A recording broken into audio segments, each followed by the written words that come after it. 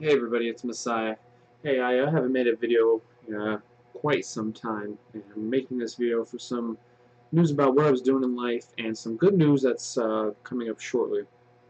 So I got a better job. I decided to get out of the restaurant industry. I wasn't making enough money, so I decided to go into something doing with sales where I can be motivated, where it's up to me to make my own money and all that fun stuff. So I ended up getting a car dealership job near my house for Chevrolet. Now you're probably thinking, ah, GM's recalling all this stuff. Yeah, shit happens. I mean, you can't, you know, you have to get experience somewhere.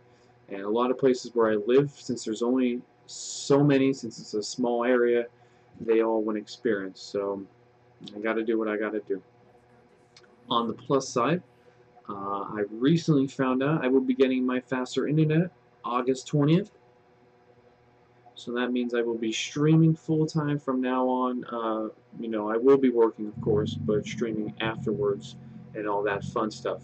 Uh, uh, August 20th is a Wednesday, so Wednesday night I have Thursday off. I'm going to be streaming from around 8 p.m. Eastern Time all the way through Thursday to most of the day Thursday, just to celebrate that I finally got fast enough internet to play games and stream after three long years of watching Twitch TV without being able to do shit. Uh, well, pretty much that's all I wanted to go over.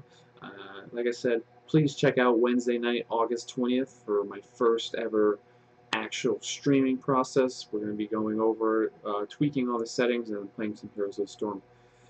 Thank you for uh, checking out this video, and I'll be publishing more in the future.